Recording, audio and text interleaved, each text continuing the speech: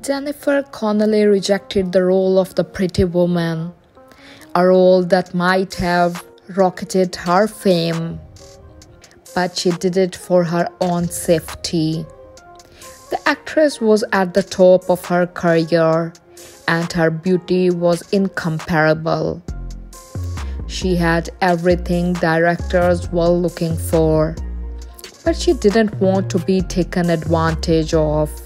She was the prime candidate for Pretty Woman, and the producer promised to make her an icon the world would never forget.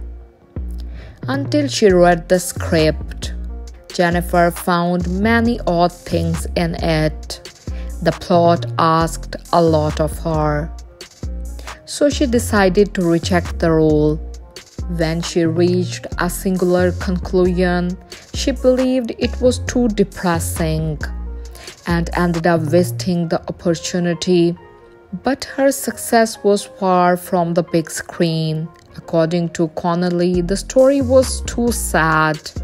The version she read was different and ended up in tragedy. The main character lost her life after spending the movie selling her body. And Jennifer decided she was too young for that. The plot was eventually changed, and Julia Roberts took the role, becoming a movie star, while Connelly disappeared little by little because she had other priorities. Jennifer chose her roles carefully, so she never became a superstar.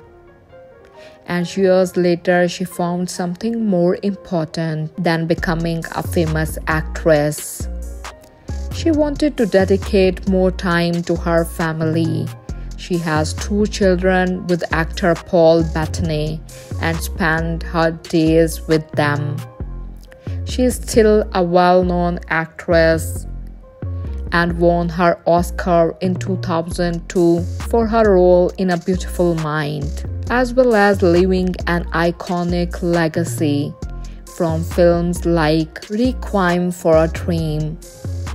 Jennifer Connelly doesn't need more fame she is happy with her accomplishments and is proud she didn't compromise her integrity when she was a young actress.